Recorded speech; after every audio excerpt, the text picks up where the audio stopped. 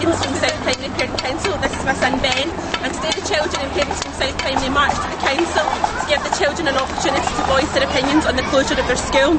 We're absolutely delighted with the turnout today. We stopped traffic as we walked down the road, cars beeped, we gained loads of support and we're here to tell the council that our children do not want to close the school and their arguments do not add up. A petition signed by thousands of members of our community to voice their displeasure and their concern over the closure of South Primary School. We hope that this will help to change the minds of the members of the Education Policy Board who are trying to close our school down.